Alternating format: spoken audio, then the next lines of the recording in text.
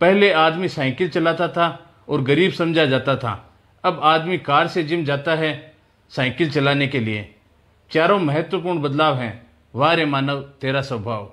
लाश को हाथ लगाता है तो नहाता है, पर बेजुबान जीव को मार के खाता है। यह मंदिर मस्जिद भी क्या गजब की जगह है दोस्तों, जहाँ गरीब बाहर और अमीर अंदर भीख माँगता है। विचित्र दुनिया का कठोर सत्य, बारात में दूल्हे सबसे पीछे और दुनिया आगे चलती है। मैयत में जनाजा आगे और दुनिया पीछे चलती है।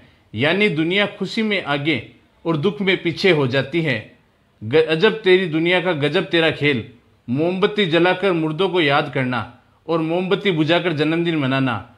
वाह रे दुनिया, लाइन छोटी है पर मतलब बहुत बड़ा है। उम्र भर उठाया बोझ उस कील ने।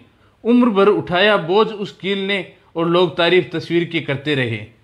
पायल हज़ारों रुपए में आती है पर पैरों में पहनी जाती है, बिंदी एक रुपए में आती है, मगर माथे पर सजाई जाती है। इसलिए कीमत मायने नहीं रखती, उसका कृत्य मायने रखता है। एक किताब घर में पड़ी गीता और कुरान आपस में कभी नहीं लड़ते, और जो उनके लिए लड़ते हैं, वो कभी उनको नो को नहीं पढ़ते नमक की तरह कड़वा ज्ञान देने वाला ही सच्चा मित्र होता है। मीठी बात करने वाले तो चापलूस भी होते हैं।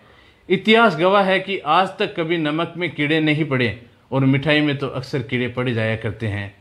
अच्छे मार्ग पर कोई व्यक्ति नहीं जाता, पर बुरे मार्ग पर सभी जाते हैं। इसलिए दारू बेचने वाला कहीं नहीं जाता, पर दूध बेचने वालों को घर घर गली गली कोने कोने जाना पड़ता है। दूध वाले से बार बार पूछा जाता है कि पानी तो नहीं डाला, पर दारू में खुद हाथों से पानी मिलाकर पीते हैं। और अंत में बहुत खूबसूरत पंक्ति, इंसान की समझ सिर्फ़ इतनी है कि उसे जानवर कहो तो नाराज़ हो जाता है। और शेर कहो तो खुश हो जाता है, जबकि शेर भी जानवर का ही नाम है। सिर्फ़ अपने तक ही सीमित न करें शेयर ज़रूर करें। दोस्तों